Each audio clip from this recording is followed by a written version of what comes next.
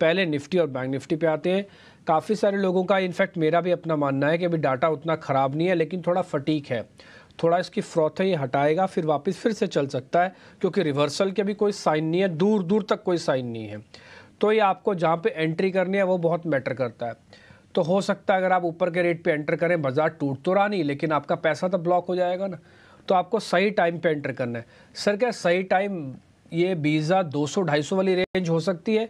कि निफ्टी के अंदर यहाँ पर एंटर किया जाए या फिर आप यहीं पर भी जहाँ पर भी सामने चल रहा है यहाँ पर भी पोजीशन ले सकते हैं।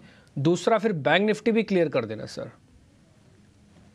जी सबसे पहले आपको गुड आफ्टरनून और good afternoon to all the viewers तो यहाँ पे निफ्टी की अगर बात करें तो अगर हम आ, एक मार्च फ़र्स्ट ऑफ़ मार्च को जो बड़ी मुँह आई थी उसकी कैंडल देखे तो आपको दिखेगा कि वहाँ से लेके एक गैप है जो करीबन बाईस हज़ार तीन सौ चालीस, तीन सौ तीस से लेके करीबन बाईस हज़ार चार सौ तक एक अच्छी गैप सपोर्ट है। आज का जो लो बना, वो जस्ट इस गैप को टेस्ट किया हुआ है। अब अहम ये होगा कि आज की जो क्लोजिंग है, वो बाईस हज़ार तीन सौ पचहत्तर के ऊपर हो जाए twenty two three seventy five current level से जस्ट चालीस पॉइंट तीस पॉइंट ऊपर। बट ये बहुत अहम होगा। अगर ये क्लोज हो रहा है तो मेरी रणनीति क्या होगी? अगर हम सवा तीन बजे के बाद, आज दोपहर को, निफ्टी का जो लेवल है स्पॉट का वो बाईस हज़ार तीन सौ पचहत्तर के ऊपर दिखाई दे तो मैं डेफिनेटली लॉन्ग एड करूँगा, वहाँ पे, वहाँ में बाय करूँगा कंसिडरिंग कि ये क्लोज हो रहा है। और मेरा स्टॉप लॉस आज के लो के नीचे होगा थोड़ा, आज का जो लो बना है, वो है करीबन बाईस हज़ार दो सौ साठ। तो मेरा स्टॉप लॉस होगा बाईस हज़ार दो सौ चालीस ट्वेंटी टू टू फोर्टी पर जैसा मैंने कहा, सिर्फ़ ये डिसीज़न मैं आज सवा तीन बजे के बाद लूँगा, और बाईस हज़ार तीन सौ पचहत्तर के ऊपर अगर स्पॉट ट्रेड कर रहा है तो मैं लॉन्ग जाऊँगा। वहाँ से जैसे मैंने कहा, ये जो रिस्क होगी वो डिफाइंड है आज के लो के नीचे बट यहाँ से जो टारगेट वन मेरा होगा, वो स्ट्रेट होगा बाईस हज़ार पाँच सौ से लेके बाईस हज़ार पाँच सौ पच्चीस तीस के जोन तक। मुझे लग रहा है अगर ये क्लोजिंग इंटैक्ट आ जाए, जैसे मैंने कहा तो हमें जो नेक्स्ट लेग ऑफ़ रैली है, वो शुरू हो सकती है। तो निफ्टी में मेरी ये राय रहेगी कि इस स्पेसिफिक लेवल के ऊपर क्लोजिंग के नज़दीक स्पॉट के बेसिस पे बाय करना चाहिए।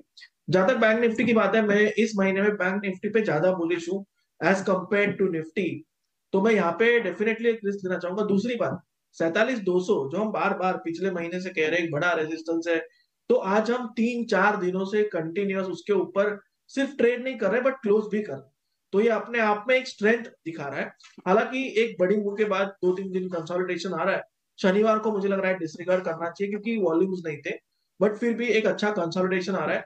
मुझे लग रहा है यहाँ पे जो पोजिशनल ट्रेडर्स है वो छियालीस आठ सौ फोर्टी सिक्स एट हंड्रेड के जस्ट नीचे यानी forty six seven eighty forty six seven fifty ये स्टॉप लॉस लगा के पोजिशनली बने रहे और जो शॉर्ट टर्म ट्रेडर्स है वो सैतालीस हज़ार को फॉलो करें।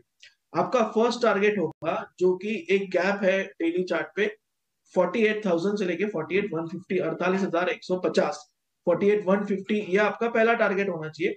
बट बैंक निफ्टी में जो मेरी राय है वो ये है कि अगर हम वो करंट लेवल से जस्ट 600 पॉइंट ऊपर बट इसके ऊपर अगर हम क्लोज होते तो मैं मार्च में कम से कम अड़तालीस हज़ार के ऊपर हज़ार से चौदह सौ पॉइंट एक्सपेक्ट कर रहा हूँ। बेस्ड ऑन द क्लोजिंग तो वहाँ पे पोजीशन ऐड कर सकते कंप्लीटली बुलिश हो जाएगा बैंक निफ्टी 48 150 स्पॉट क्लोजिंग के ऊपर और आपको 49,000 से 49,200 300 तक के लेवल भी नज़र आ सकते तो ओवरऑल अगर आप दोनों इंडाइसिस में पर्सनल लेवल पे पूछे तो मैं ज़्यादा बुलिश बैंक निफ्टी पे हूँ। बट निफ्टी पे जैसे मैंने कहा टूवर्ड्स क्लोजिंग ध्यान रख के अगर बाईस चार सौ पचहत्तर के ऊपर नज़र आए तो वहाँ एक लॉन्ग कैरी कर सकते